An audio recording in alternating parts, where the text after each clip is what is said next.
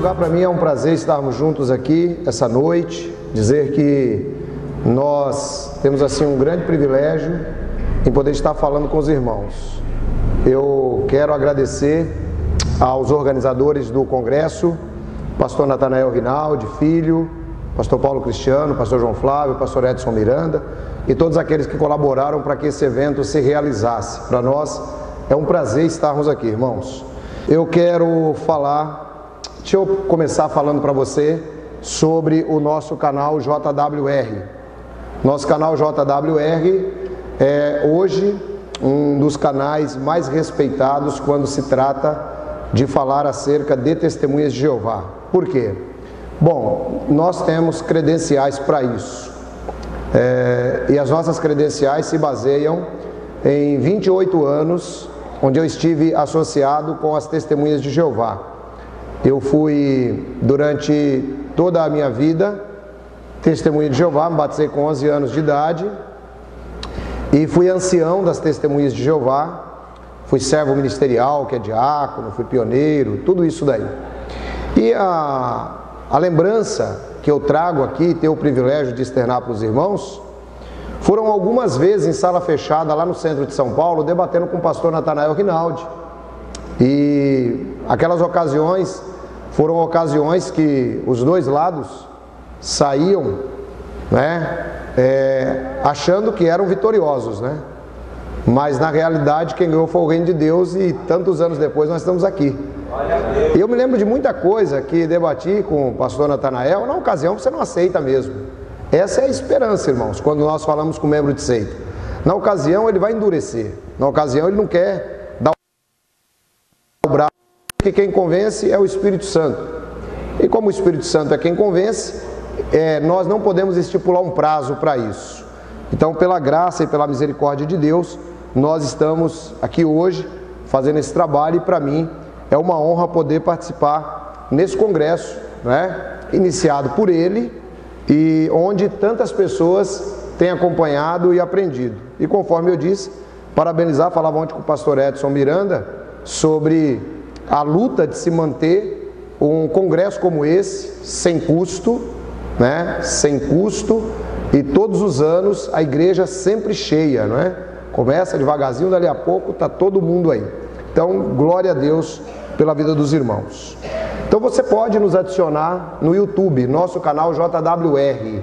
Se você quer aprender a evangelizar a testemunha de Jeová, quer ficar por dentro de tudo o que acontece com as testemunhas de Jeová, nosso canal é o melhor caminho.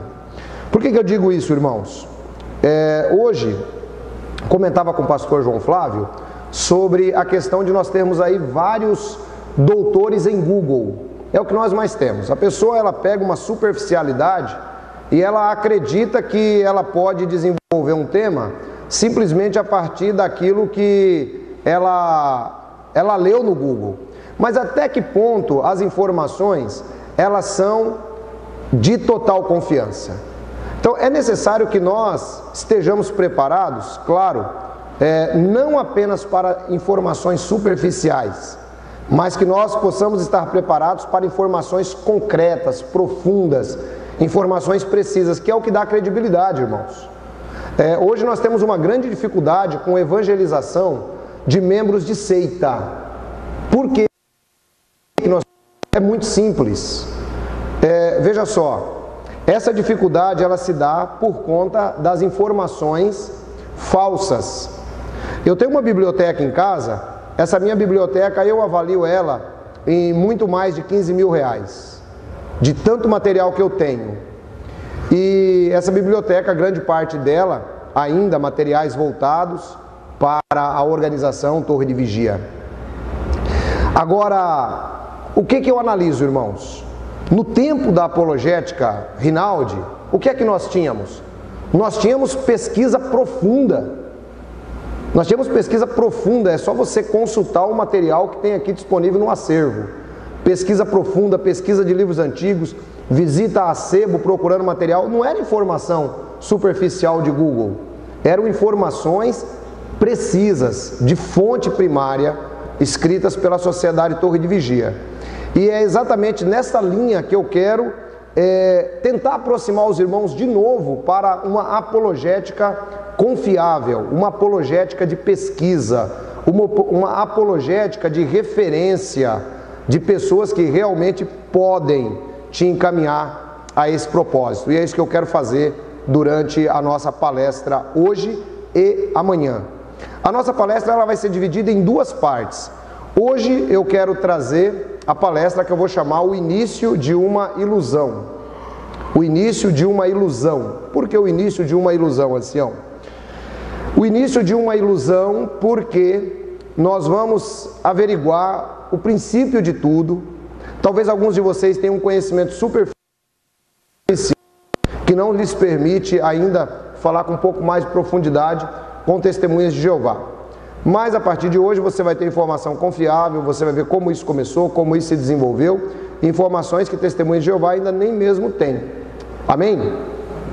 Então vamos começar falando um pouquinho sobre o nosso objetivo nessa palestra. Qual que é o nosso objetivo?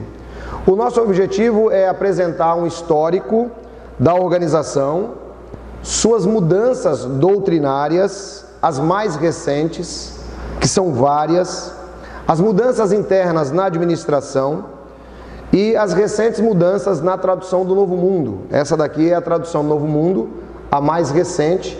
Eu diria que a pior tradução, que não é tradução, ela é versão da versão da versão da versão, que ela é, ela é versão da versão preta, que por sua vez é versão da versão verde, que por sua vez é versão da versão inglesa de 1961. Então é a terceira sequência de uma versão. E para piorar, a pior versão que as testemunhas de Jeová já produziram em toda a sua vida, a pior. Então nós vamos falar também um pouquinho sobre isso, sobre os acréscimos na língua portuguesa. Ontem o pastor João Paulo Cristiano falou bastante sobre a questão das Bíblias adulteradas. E eu quero também, na palestra de amanhã, falar um pouquinho sobre a tradução do Novo Mundo. Bom, vamos ao começo de tudo. Esse homem que vocês estão vendo aí é Charles Taze Russell. Charles Taze Russell é ele que dá início à ilusão chamada Sociedade Torre de Vigia. Deixa eu falar uma coisa para você. Quando nós perguntamos quem é o fundador das testemunhas de Jeová, bom, todo mundo faz a alusão a Charles Taze Russell, não é verdade? Normalmente todo mundo fala assim: olha, Charles Taze Russell é o fundador das Testemunhas de Jeová. Então, o primeiro mito que eu quero quebrar nessa noite Charles Taze Russell não é o fundador da organização das Testemunhas de Jeová. Não. Nós vamos enxergar daqui a pouquinho quem é o fundador desta organização. Charles Taze Russell ele começa um trabalho por volta de 1870. Qual é a ideia do jovem Russell? A ideia do Russell é a seguinte: Russell é de família presbiteriana e ele não concorda com algumas das doutrinas do cristianismo, doutrinas históricas. O Russell, por exemplo, ele acha que é, o inferno é muito mal da parte de Deus. Então ele coloca isso na cabeça. Aí ele também não concorda com a Trindade, ele não concorda com algumas outras coisas. E ele se desanima. Porque você imagine um jovem de 16 anos, na flor da idade, claro que ele também não está interessado em juízo, claro que ele não está interessado em prestar contas a ninguém. Então Russell, ele organiza um grupo de oito pessoas aproximadamente, e ele começa aquilo que ele chama de estudo da Bíblia. E ele diz que detecta várias doutrinas falsas daquilo que ele vai chamar de cristandade. Então, preste bem atenção, irmãos. O primeiro ponto: Russell é de família cristã. As heresias muitas vezes nascem dentro da igreja. A heresia não nasce lá fora, a heresia nasce aqui dentro. E é por isso que nós precisamos estar preparados para combater as heresias. Quando Russell ele começa esse seu trabalho, ele começa a estudar a Bíblia. Mas pensa junto comigo. Levanta a mão aí para mim quem acha que é fácil estudar a Bíblia. Levanta a mão aí por gentileza. Quem acha que é fácil? Ninguém, né? Isso nós estamos falando em século 21, com São Google disponível, com um monte de informações. Imagine século 19, sem informações que nós temos hoje. Alguém pega a Bíblia King James e ele simplesmente começa a fazer algumas interpretações pessoais. Essas interpretações pessoais, elas começam a agradar o seu público.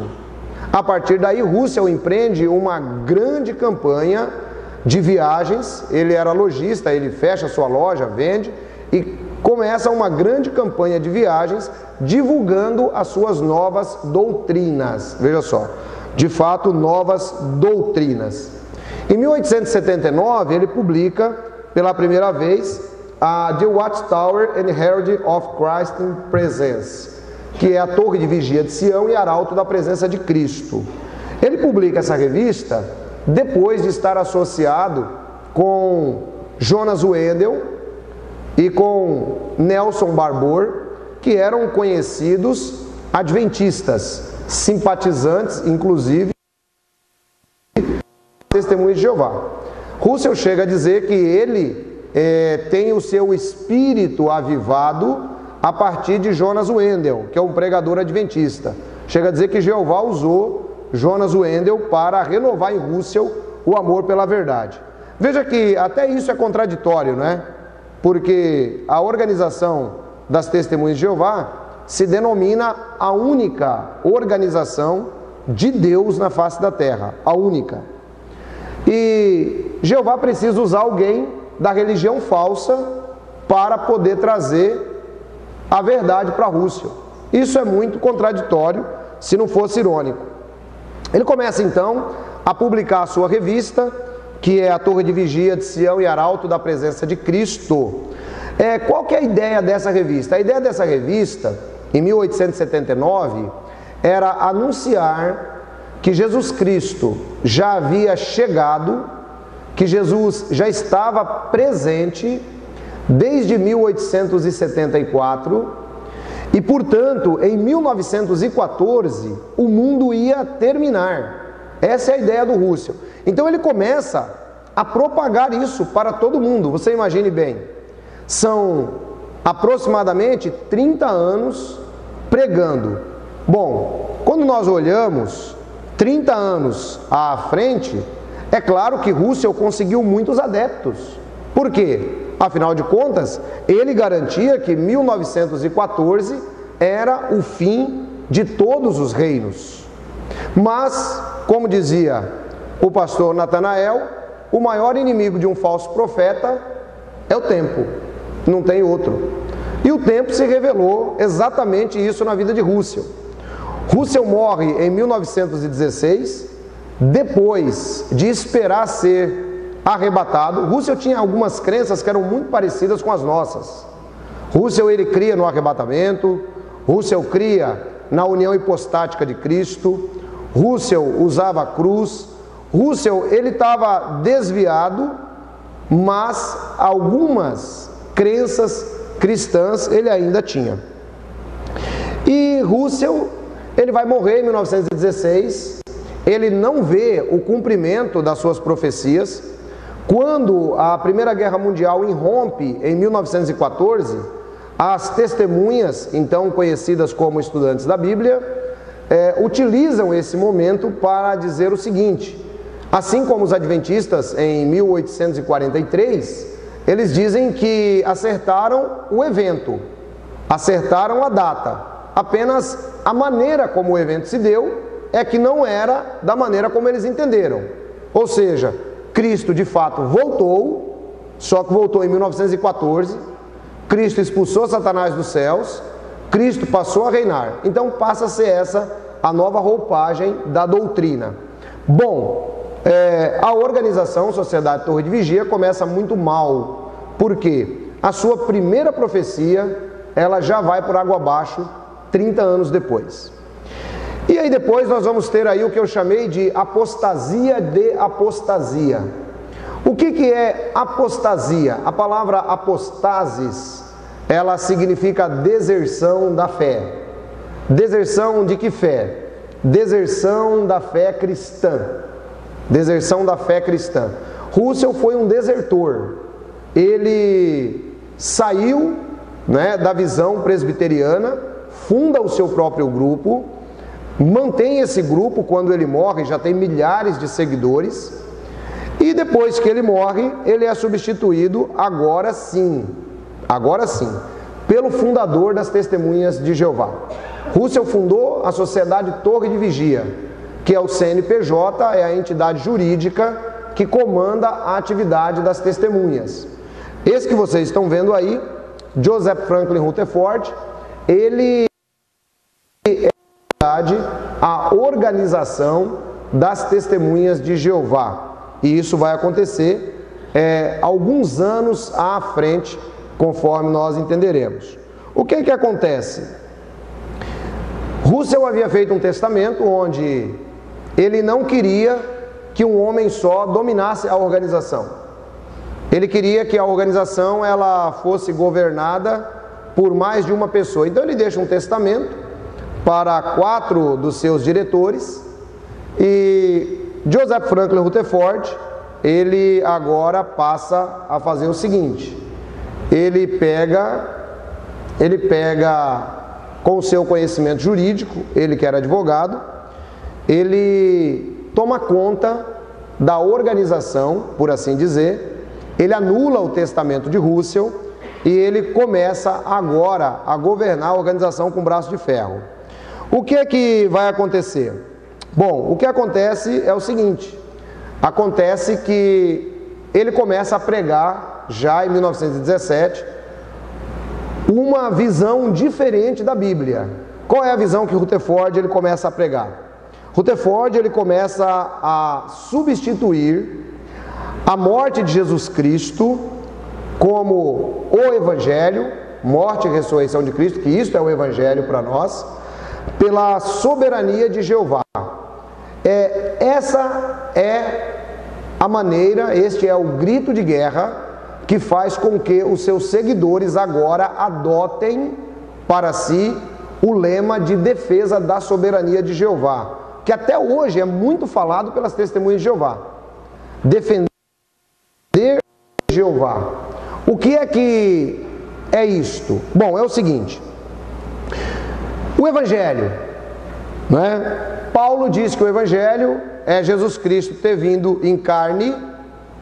Paulo diz que o Evangelho é Jesus Cristo ter sido morto, ressuscitado e volta segundo as Escrituras. Isso é o Evangelho. Não podemos discutir isso. Ele faz o seguinte: ele diz que não. Ele diz que o diabo atacou a soberania de Jeová lá no Éden e pelo fato do diabo ter atacado a soberania de Jeová no Éden, Jeová precisava de pessoas para limparem o nome dele aqui na terra. Esse é o evangelho que o Rutherford passa a pregar. Então você imagine, quem não se sente bem com a ideia de que agora é um participante em limpar o nome de Deus? Qualquer ser humano gostaria dessa ideia, e é assim que o Rutherford passa a crescer. Mas ele tem alguns problemas ele tem alguns problemas. É, muitos não concordam com a maneira dele. Rutherford era conhecido como um homem de personalidade muito dura, um homem que realmente governava a organização com um braço de ferro. E qual é a situação que surge? Vários grupos saem da organização, que ainda não é. Nós temos é, mais de 30 grupos dissidentes das testemunhas de Jeová. Aliás, se você fizer uma pesquisa no site do CACP, lá você vai encontrar grupos dissidentes das testemunhas de Jeová. Tem lá a matéria, são mais de 30 grupos dissidentes. O mais forte desses grupos hoje, que remonta aos dias de Russell, são os estudantes da Bíblia de Chicago. Eles estão firmes, fortes e presentes e com doutrinas parecidíssimas com as testemunhas de Jeová, com livros muito parecidos.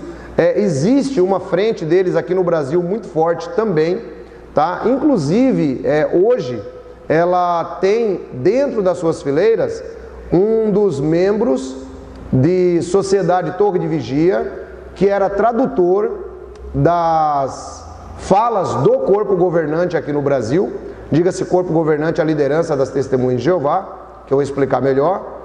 E hoje, é, esse, esse rapaz que trabalhou junto com eles também faz parte desses estudantes da Bíblia. Esses estudantes da Bíblia é um grupo tão herético quanto. É a mesma coisa. É heresia em cima de heresia. Esses rejeitaram completamente os ensinamentos de Rutherford e seguem apenas os ensinamentos de Charles Taze Russell. Bom, é, vai ficar o sujo falando do mal lavado, porque você seguir Rutherford ou você seguir Russell, você está seguindo a Satanás. Essa é a grande questão. Mas os estudantes da Bíblia estão aí presentes hoje é, no Brasil, estão muito fortes. É, inclusive alguns, né, alguns sempre me perguntam, né, assim, puxa vida, o que, que você acha dos estudantes? Nós não queremos atacar, nós não queremos criticar, irmãos. Acontece que, segundo aos Coríntios capítulo 10, versículos de 1 em diante, o apóstolo Paulo é muito enfático ao dizer que nós é, levamos cativo todo pensamento ao Cristo, destruindo fortalezas e, conforme verte a tradução Novo Mundo, destruindo as coisas fortemente entrincheiradas. E o que é que você quer mais entrincheirado do que o pensamento que a torre de vigia colocou nos seus adeptos? Então nós temos essa responsabilidade. Então quando nós falamos que seguir Rutherford ou seguir Russell é seguir a Satanás, eu posso me basear completamente naquilo que o apóstolo Paulo disse em Gálatas capítulo 1, versículo 8, quando ele diz que ainda que um anjo dos céus vos anunciasse como evangelho algo que não é evangelho, seja amaldiçoado ou seja anátema. Então está aí Rutherford, é promovido então o que nós conhecemos na organização como o cisma de 1917.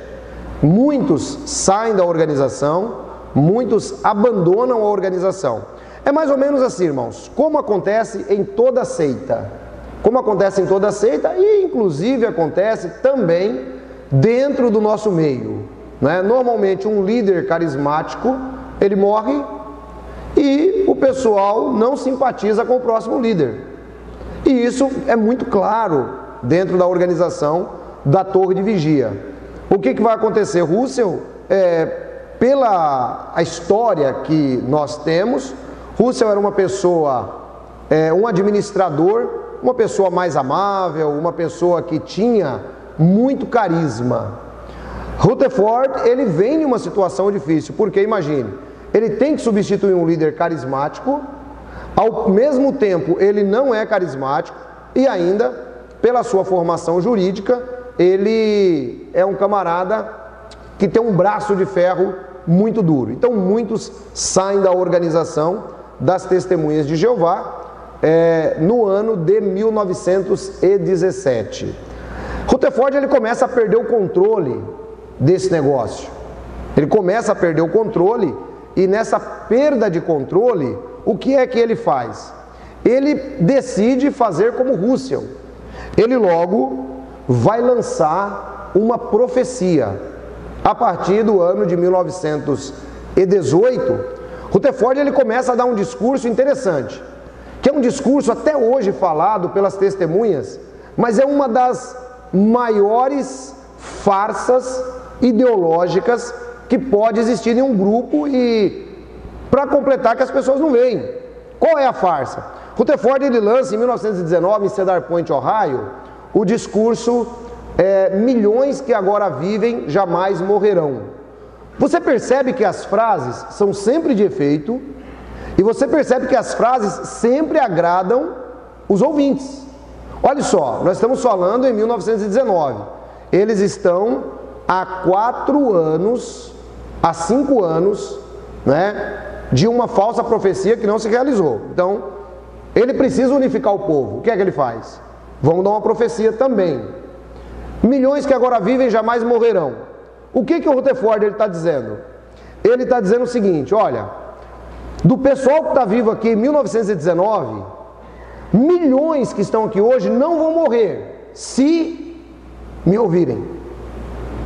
Essa é a ideia do Rutherford. Se vocês me ouvirem, vocês não vão morrer. Fiquem tranquilos. Perdão. Aí o Rutherford, ele, para justificar a sua profecia, perdão, para justificar a sua profecia, o que é que ele faz? Ele adquire essa propriedade chamada Betsarim. Betsarim significa casa dos príncipes. Parece cômico, irmãos, mas grande parte das testemunhas de Jeová não conhece a história de Betsarim. Qual é a história de Betsarim? Rutherford adquire essa propriedade onde ele vai viver até os últimos dias da sua vida. Mas o que, que tem a ver essa propriedade com o discurso dos milhões? Essa propriedade, Rutherford disse que era a prova tangível que Jeová tinha profetas na terra. Essa era a prova tangível. A gente precisa alguma coisa para mostrar que Jeová tem gente na terra e que essa gente somos nós. Então nós temos a propriedade. E essa propriedade vai caber os milhões? Não. Essa propriedade, ela vai ficar nomeada no cartório da cidade para Abraão, Isaac e Jacó, que vão ressuscitar em 1925. É, não, você vê a certeza que um falso profeta coloca para arrebanhar pessoas. Então ele começou no discurso dos milhões, ele disse que esse pessoal iria ressuscitar e a garantia era tanto que tinha um documento, a propriedade no nome deles, de Abraão, Isaac e Jacó. Agora, o que é que acontece? Rutherford, ele vai morrer em 1941 e essa casa vai ser vendida posteriormente, no início da década de 50. E por que que nós dizemos que Rutherford, ele é o fundador das testemunhas de Jeová? Bom, as testemunhas de Jeová nunca foram identificadas por nome algum. Obrigado. Elas nunca foram identificadas por nome algum. O Russell, ele se contentava é, em dizer que ele era um estudante da Bíblia. E ele fundou várias eclésias, como ele chamava, que eram igrejas, ele só não queria usar o mesmo nome da, abre aspas, cristandade. Ele fundou várias eclésias, e essas eclésias, Russell os identificava todos como estudantes da Bíblia apenas. Rutherford ele diz assim: não, esse negócio de estudante da Bíblia não dá certo, porque estudante da Bíblia todo mundo é. Tanto é que o Russell tem escritos dele, onde ele se dirige aos batistas como os irmãos batistas, os irmãos presbiterianos. O Russell ele tinha, ele achava que ele estava no meio da igreja. O Rutherford fala: não, esse negócio aí está tudo errado. O, é o seguinte: quem quiser ficar com a gente a partir de agora, isso é 1931. 1931, aqui sim surge a organização das Testemunhas de Jeová oficialmente. Em 1931, em um congresso, Rutherford faz então uma aclamação ao povo e diz que, baseado em Isaías 43:10, agora eles passam a ser chamados de testemunhas de Jeová, que esse é o nome que Jeová aprovou para o seu povo. Isso é tão interessante, irmãos, que quando você não conhece a Bíblia, uma testemunha de Jeová acredita. Eu acreditei. Você fala assim, você acreditou? Acreditei, irmão. Eu ia no, no, eu ia no serviço de campo, aí eu chegava lá e falava assim para o camarada que eu encontrava que era assembleiano. O senhor sabe o nome da religião verdadeira? Não, não sei. Eu falava assim, ó, tá aqui, vós sois minhas testemunhas, é a pronunciação de Jeová, meu servo a quem escolhi. É que eu nunca tinha lido o versículo 1. 2, 3, 4, 5, 6, 7, 8 e 9. A gente só leu 10. Testemunho de Jeová é assim, ele só lê um versículo. E aquele versículo é o que ele quer. Eu nunca tinha lido que aquele texto é, se refere à nação de Israel. Ele fala assim, Jacó, você é meu servo, eu sou a nação de Israel. E aí eu chegava no senhor, o senhor sabe o nome da religião verdadeira? Não, não sei. Vós sois minha testemunha. E o senhor é de qual? Ah, eu sou da Assembleia de Deus. Vê se aqui está escrito, vós sois minha Assembleia de Deus. Vós sois meus batistas. Eu defendi, irmão, desse jeito. Né? Você vê quando você não conhece a Bíblia, como é que é a coisa? Aqui está escrito, vós sois minhas testemunhas. E você ainda pensava que estava certo, rapaz. Né? Então, é, esse nome surge em 1931 e posteriormente vai surgir. Amanhã a gente vai falar muito sobre doutrina. as doutrinas mais novas das testemunhas que vocês, se você está dando risada hoje, amanhã você vai dar muito mais. É, porque quando se trata de doutrina, o negócio é simplesmente esquisito, que, como diz Roberto Carlos Cruvinel, chegam a ser tão profundas que cheira enxofre, né? de tão profunda que é, que é a doutrina. E aí a gente vai aprender um pouquinho mais. Mas a casa, a casa Betsarim ficou aí, irmãos. Ficou aí Betsarim, a casa dos príncipes, as testemunhas de Jeová. É, não conhecem, muitos não conhecem. A organização Torre de Vigia publicou um livro chamado Testemunhas de Jeová, Proclamadores do Reino de Deus. Esse livro é a história contada por eles mesmos. Eu vou dar um exemplo. Imagine o pior, imagine o pior assassino que hoje está preso. Imagine ele. E aí, você acompanhou toda a história dele, você sabe de tudo aquilo que foi, viu uh, nos jornais, nos noticiários, do que matou, do que aconteceu. Aí depois, ele simplesmente escreve um livro, onde ele conta a história completamente ao contrário de toda a história, fazendo uma autodefesa. Que valor teria esse livro? Talvez você me diga, nenhum. Ele está advogando em causa própria. Assim acontece com o corpo governante das Testemunhas de Jeová. Eles produzem um livro chamado Testemunhas de Jeová, Proclamadores do Reino de Deus, onde eles contam a história do jeito deles. Eu vou abrir aqui um parênteses, porque amanhã eu vou falar um pouco mais sobre isso. Mas, irmãos, nós temos que crer, nós precisamos crer no mundo espiritual, precisamos crer nessa realidade. Que de fato Jeová, Javé, Yahweh, como você queira chamar, ele governa os acontecimentos em matéria de assuntos religiosos. O pior tiro no pé das testemunhas do corpo governante, se você me acompanhar no canal, você vai ver que eu me recuso a chamá-los de testemunhas de Jeová. Eu me recuso. Eu chamo de testemunhas do corpo governante. O maior tiro no pé deles, qual foi? Foi esse livro foi esse livro. Por quê? O livro ficou bonitinho, conta uma história falsificada, que eu acreditei na época e muita gente acredita, mas a principal pesquisadora, porque na realidade os escritores, eles têm auxiliares. Né? A organização das testemunhas de Jeová, ela funciona assim, é mais ou menos como a Câmara de Deputados, como o Congresso, tem comissões auxiliares que fazem as pesquisas. E a principal pesquisadora desse livro, Testemunhas de Jeová, Proclamadores do Reino de Deus, foi uma mulher chamada Bárbara Anderson. Bom, essa mulher, ela morava em Brooklyn e ela tinha acesso a vários documentos para fazer a pesquisa. Não tem como, ela teve que pesquisar o tempo do Russell, o tempo do Rutherford, o tempo de todo mundo para contar a história. E nessa pesquisa, ela começou a se deparar com algo que a deixou muito preocupada, que eram casos de pedofilia escondidos dentro da organização das Testemunhas de Jeová. E o marido dela deu uma entrevista, se eu não me engano, à BBC, ou, ou a, a BBC, é, ou a outra, aquela outra mais famosa dos Estados Unidos, e ele era ancião. Oi? Isso, a CNN. É, ele era ancião lá dentro do Betel, dentro da sem autorização da comissão de redação do corpo governante. O resultado foi que ele foi desassociado, porque ele deu a entrevista sobre caso de abuso sexual de criança, que a mulher dele havia feito pesquisa. O que é que aconteceu então? Ambos saíram é, logo na sequência, em 1994, um pouco depois, e fundaram uma entidade sem fins lucrativos para apoio a vítimas de abuso sexual dentro da organização das Testemunhas de Jeová. E esse site ele está presente até hoje, chama-se Silent Lambos, é, Ovelhas Silenciosas.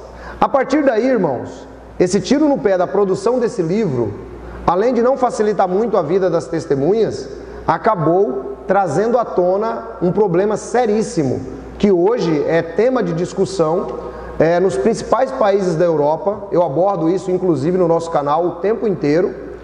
É, nos Estados Unidos, no Canadá, o membro do corpo governante esteve presente há pouquíssimo tempo na Corte Real Australiana, também testemunhando sobre esse assunto. Então foi isso que eles acabaram conseguindo. Bem, Rutherford vai morrer em 1941, suas falsas profecias não se cumprem e ele é substituído por este homem que é chamado Nathan Orr. Nathan Orr é um empresário muito inteligente, ele tem uma visão empresarial fantástica e durante a vida de Nathan Orr, a organização das testemunhas, ela simplesmente decolou. Eles ficaram ricos em patrimônio. Mas também como que não vai ficar, não é, irmão? Por exemplo, eu cresci a minha vida inteira vendendo a sentinela. Quando eu entrei para a organização das testemunhas do corpo governante, que eu me batizei em 1980, tinha aproximadamente 44 mil congregações no mundo. Hoje, você imagine 44 mil congregações naquele tempo, com ascendência, e todas as pessoas, veja só, não é meia dúzia, é uma grande sacada empresarial. Todas as pessoas precisam no mínimo, saírem de porta em porta. E todas elas participam. É, o termo que nós usávamos não era venda, porque vender era muito feio. Chamava-se colocar revista. Então todos participavam na colocação de revista. Ou seja, nós comprávamos a revista e revendíamos a revista. Então você imagine esse exército de pessoas trabalhando de graça, simplesmente por amor a Jeová. Foram as pessoas que enriqueceram a organização das testemunhas de Jeová. Bom, uma vez que Nathan Orr se preocupa com a parte empresarial, ele tem um ajudante, não é? que é o principal teólogo da organização, que aliás deve ser respeitado naquilo que fez, não é? que é o Frederick William Franz. O Nathan Orr, ele vai cuidando da parte administrativa e Fred Franz, que conheceu Russell, conheceu Rutherford e agora ele passa a se tornar o principal teólogo da organização depois da morte de Nathan Orr. Agora ele assume a função de teólogo e também assume a função de presidente da Sociedade Torre de Vigia. Vale a pena dizer que nós temos aqui, atravessando, cinco eras presidenciais: Russell, Rutherford, Nathan Orr, agora o Frederick William Franz e posteriormente a gente vai ver Milton Range. Essas eras presidenciais foram as eras onde não havia é, uma espécie de corpo coletivo governando. O corpo governante, a liderança das testemunhas de Jeová era apenas de enfeite.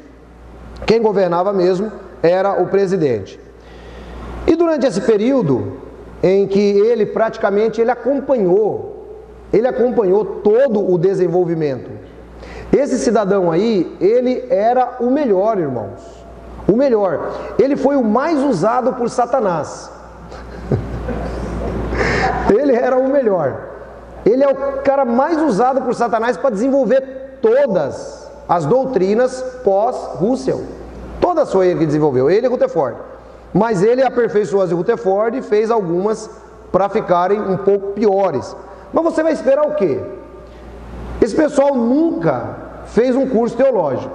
Esse pessoal não conhecia grego, esse pessoal não conhecia hebraico, esse pessoal não conhecia nada. Simplesmente é mais ou menos assim é, o que a liderança da organização fez. Eu pego um jatinho, eu lhe dou o jatinho e digo: dirija. Você dirige? Você pode até entrar lá e dirigir, você vai se matar na primeira esquina. Foi assim que aconteceu com a organização das Testemunhas de Jeová. Passaram a dar cabeçada de tudo que é lado, principalmente em situações teológicas. Tanto é que desde a fundação da organização para cá, são mais de 330 mudanças de ensino. Quando você pega a, abre aspas, cristandade, que eles tanto criticam, Você pega os ensinamentos de Wycliffe, os ensinamentos são tão atuais quanto na época que Wycliffe escreveu. Você pega para os arminianos os ensinamentos de Armínio, eles são tão atuais quanto na época que Armínio escreveu há 500 anos atrás. Você pega os ensinamentos de Calvino,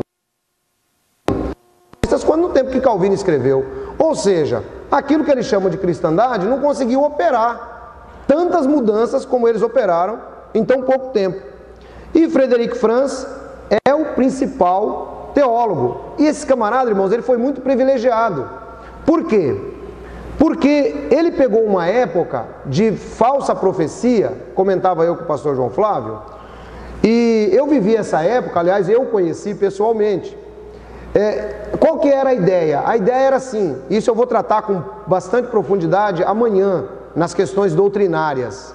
Tudo isso daqui é para você conhecer os termos, tá? Para a nossa palestra ficar um pouco mais é, fácil de você entender. O que, que ele faz? Nós temos uma doutrina de uma geração, uma geração que não vai acabar sem vir o final do mundo. Veja, Russell falou isso, Rutherford falou isso, Norman falou porque ele se preocupava com a empresa, mas Frederic Franz começou a falar isso. Ele começa, por exemplo, dizendo que o Armagedon viria em 1975.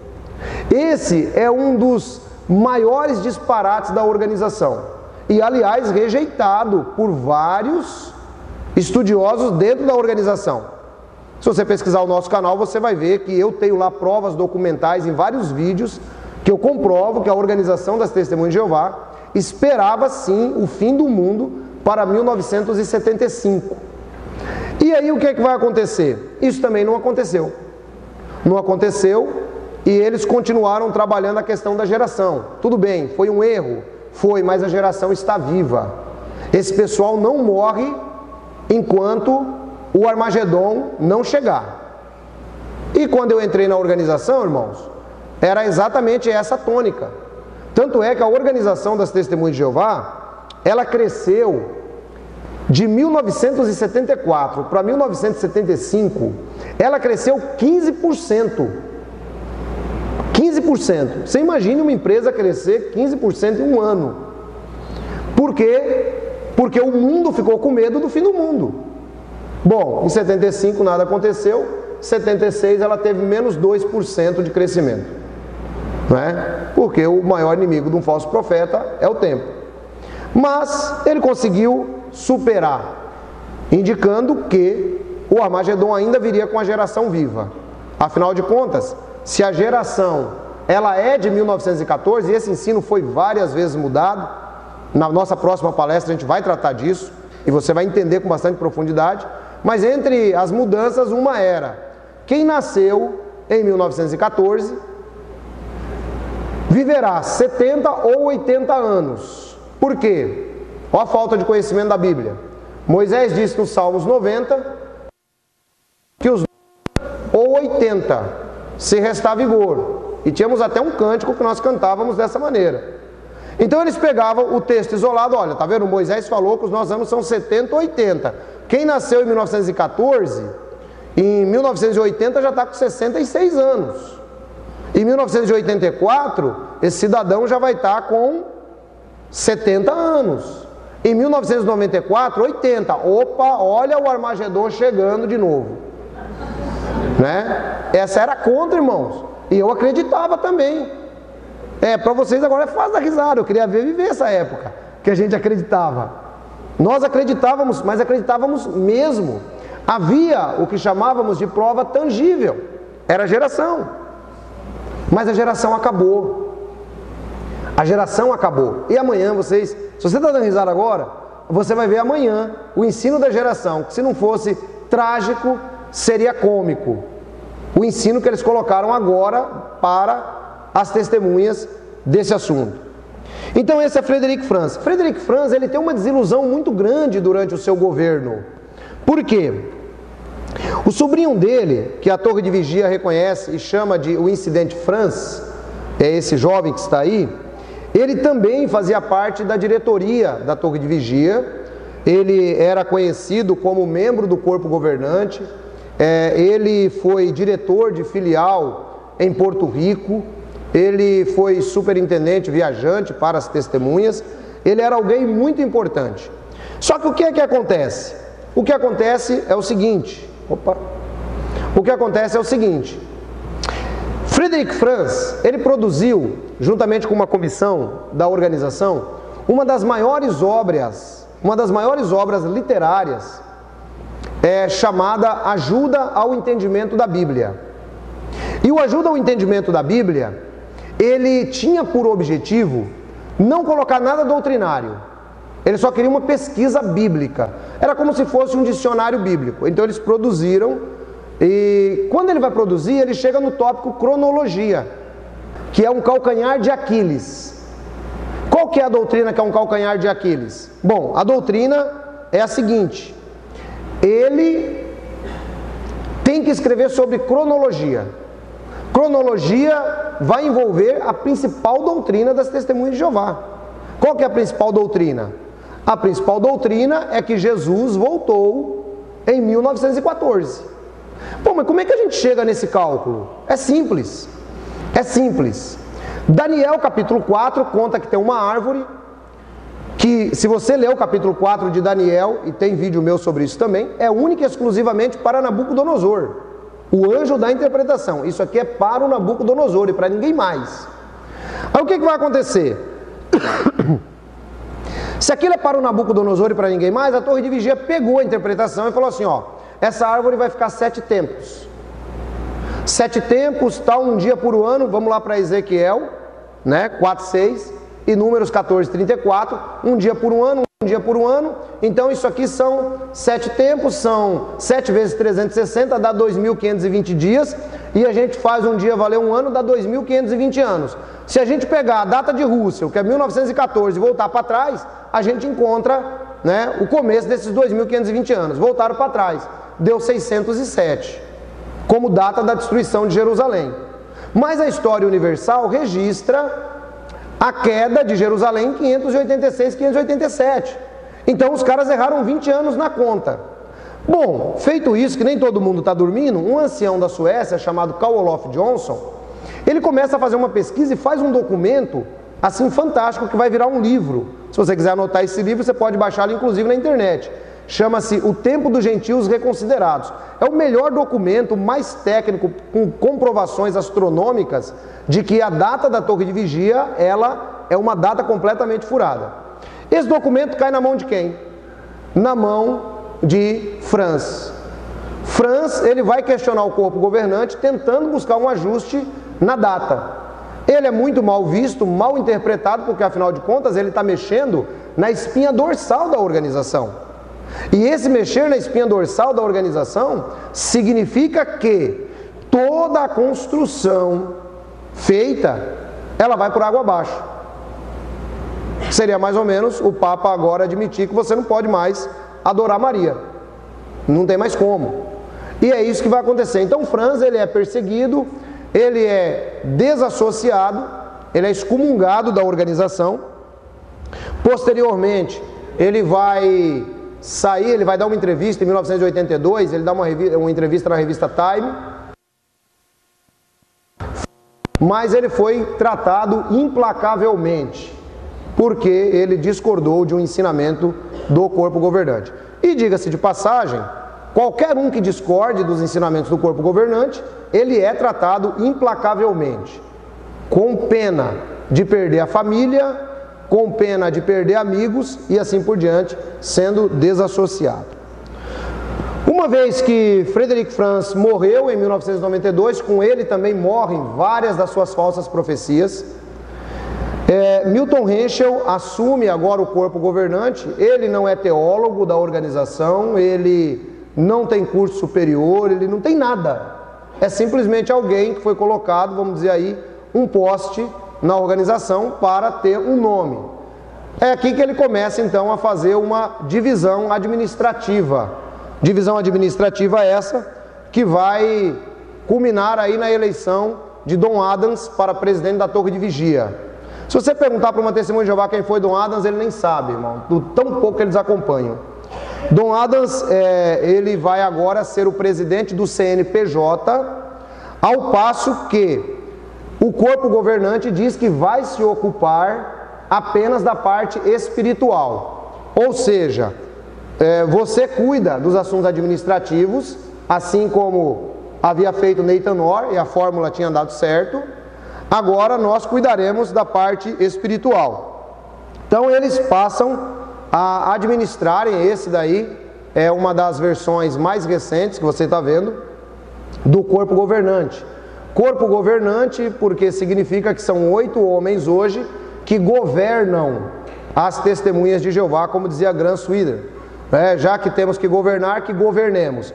Esses são os governantes das testemunhas de Jeová. Vale a pena, irmãos, dizer que governam mesmo.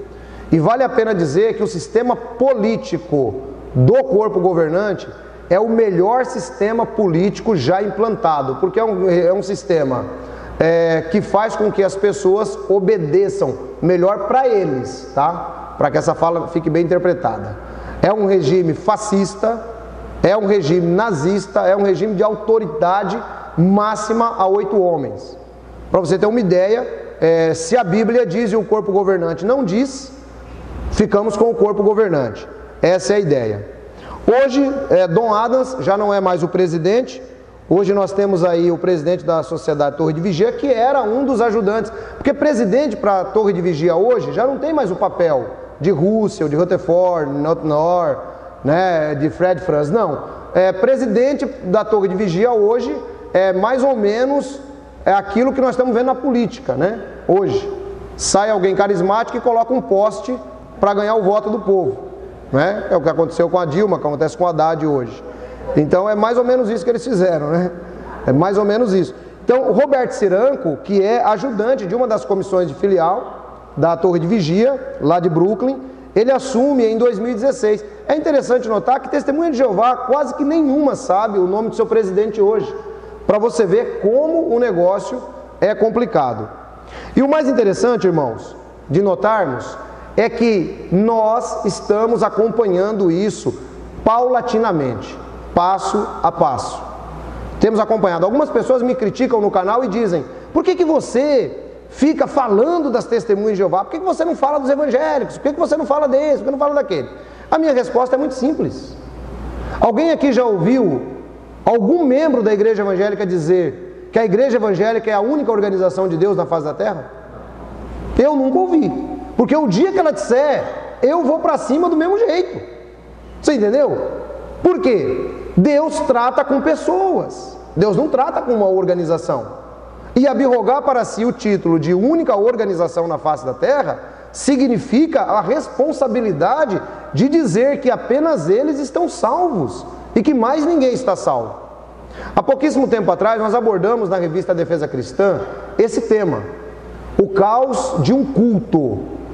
E amanhã eu vou falar um pouquinho mais sobre isso também. O caos de um culto. O que está acontecendo hoje, irmãos, com as testemunhas de, do corpo governante?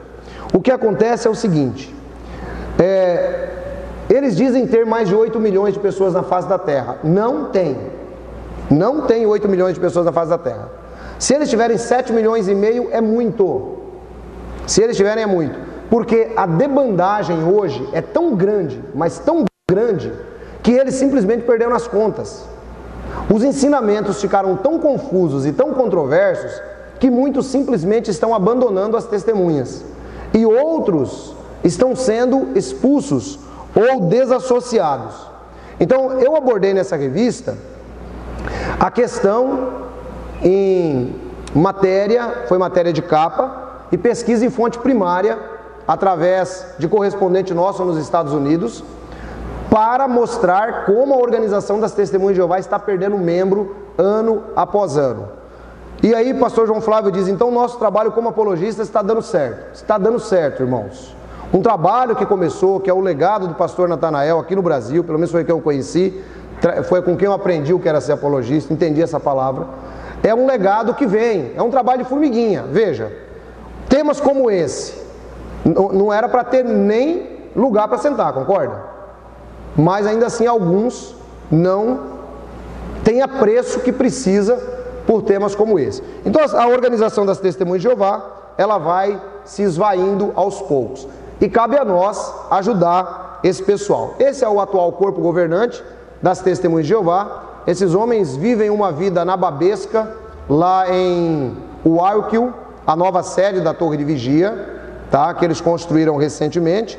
E esses são os homens que dão todas as orientações para as testemunhas de Jeová. Bom, essa é uma visão daquilo que a organização era, o seu progresso através do tempo e como ela está hoje. Amanhã, se for da vontade de Deus, nós trataremos das doutrinas. Nós temos pelo menos sete mudanças doutrinárias importantíssimas. Então você que acompanhou a palestra, quem foi edificado aí, dê um amém. Amém.